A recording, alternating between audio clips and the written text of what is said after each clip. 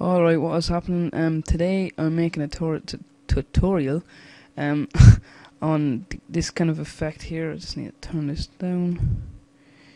You can see little file, like, wait, we'll drag it back here. As you can see, little kind of fire things there. They're basically circles. They look like fireflies, and you can see it kind of dragging on there. You can perfectly see it.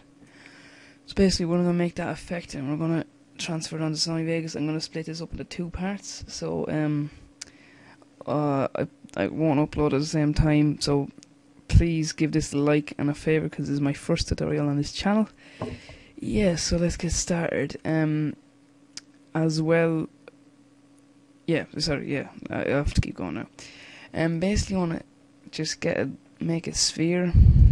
Um, bring it down to five. As you can see, it's tiny now. Then you want to come down to this kind of square with bubbles coming over basically, and you want to click on emitter, or just click once on it. Um, I'm just gonna drag this back here. Um, then what you want to do is bring the sphere and hold, hold it, hover it over emitter until it uh, has an arrow pointing down, and then let go of your right click or left click. Then what you can see is that the emitter, the sphere, is an emitter, is a child of the emitter. Um, that basically means wherever you bring that emitter, the child goes with it, which is sphere, which is the sphere. Um, just want to flatten it up like this, the emitter, and then we want to click on emitter, come onto the particle tab. As you can see now, when we play it, there's not that much going on. What you want to do now is you want to bump up the birth rate editor to 40 and the birth rate renderer to 40, which gives it a lot more, as you can see. So the emitter, what you want to do next is click on the emitter tab, and the Y size you want to bring it up to, uh, bring it up to a thousand, which just lengthens it more in lengthways that way. Um, you don't need to worry about that. So now it's, as you can see, if you bring it back to the start, it's it gives a, a lot more and it's more spread out, which is better. Um, next, what you want to do is, uh, actually, when you render this, you can see it's there, it's okay and everything like that. What you want to do next is you want to come back over here and onto the emitter with the, the square with the bubbles. you want to click on uh, turbulence. And you want to just bring this back over here. Turbulence and then what you want to do is just bring that there center whatever. Um as you can see now there's no nothing really happening there.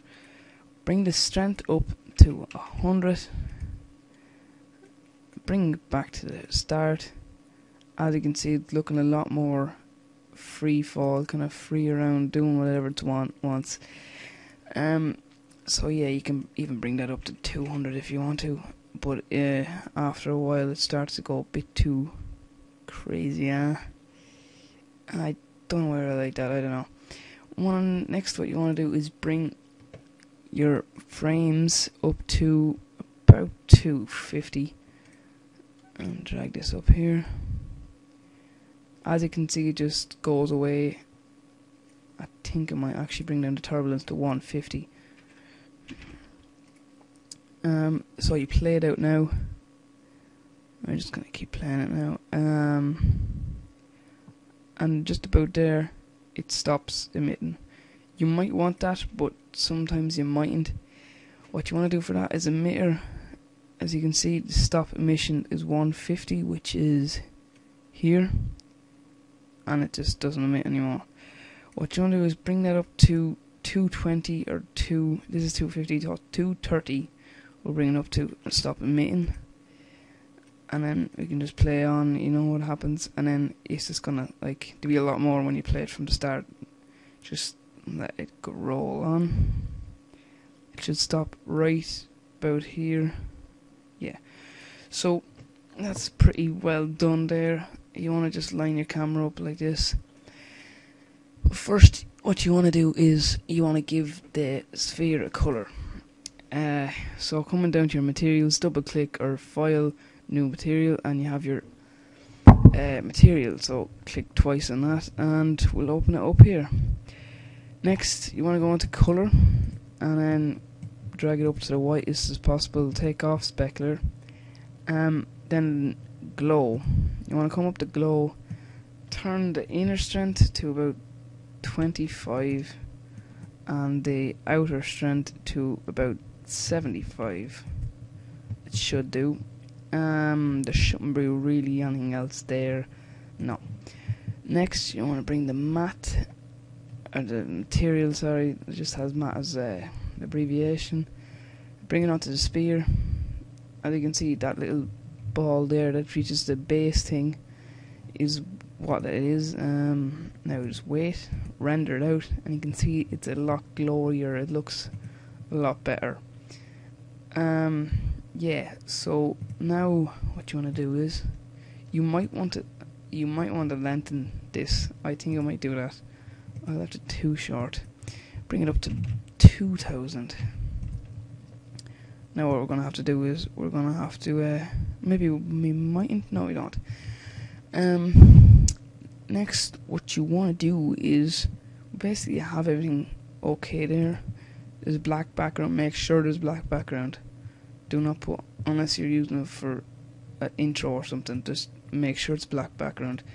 Um, next you want to come onto camera just make sure come onto camera and make sure there's a little square with a dot in it make sure that's white then just add a, add a keyframe and add a keyframe and you're okay. You don't actually really have to do that but that's if you want to make sure it's okay. Next you want to come up to your where your render settings are. And you want to click on output on the output preset click the arrow yeah click the arrow film film slash video and when it come down to H HDV forward slash I, my words are mixed up it's like two o'clock. HDTV 25 you want 25 at the end of it. And you want to click on all frames that's all okay there unless you know what you're doing whatever else you want to do. Don't touch it otherwise. Save I want to save as QuickTime or AVI I doesn't matter. That's up to you and we're going to click on fireflies I'm to call this 1 because I already have this. I already did this. And we're just bringing it to here. Um, you know I come to multipass you don't need any for that. Um, then anti-aliasing is that how you say it. Come on ge geometry and click on best then filter animation max the minimum level 1 by 1 maximum 2 by 2 and then options everything else is okay to do. So we'll just X out of that and as you can see make sure everything is done. You might want to get that line there so you know that you're getting everything there. Next you just want to click on the render button and just let that render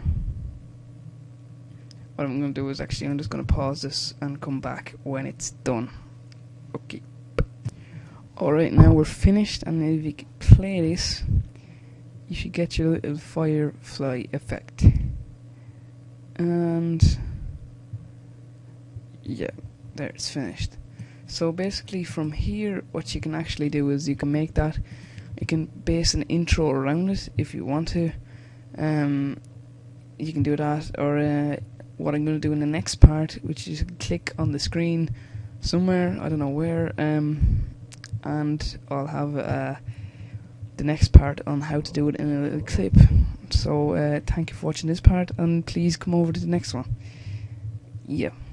yeah bye bye.